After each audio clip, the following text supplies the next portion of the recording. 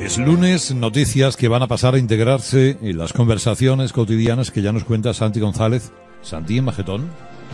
El gobierno de Pedro Sánchez ha debutado en el fin de semana elevando a categoría la nada, que es su más íntima sustancia. El primer consejo de ministras y ministros se sustanció con una sola decisión, retirar el control de las cuentas a los independentistas catalanas que ya han empezado dando 20 millones a su cadena golpista. Las ministras y sus colegos se han estrenado en los medios con la participación estelar de Merichel Batet, en homenaje al conjunto vacío, que en una entrevista con el director del periódico daba buena muestra de lo suyo y eclipsaba el sentido común que podía esperarse de Pepe Borrell, que ayer debutaba con Ana Pastor. La vice aparecía en el país, Pedro Duque en el mundo y el ministro de Cultura por doquier.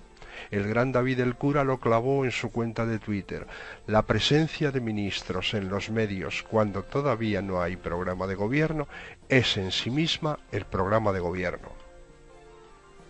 Bueno, hemos inaugurado, digamos que, eh, una suerte de tiempo nuevo y los que para que los nuevos hayan interiorizado la consigna de hablar por no callar.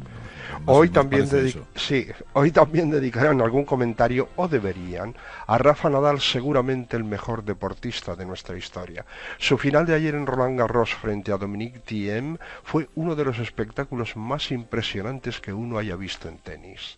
Nadal es un referente de nuestra vida. Lo dice Jiménez Los Santos al final de su columna en El Mundo.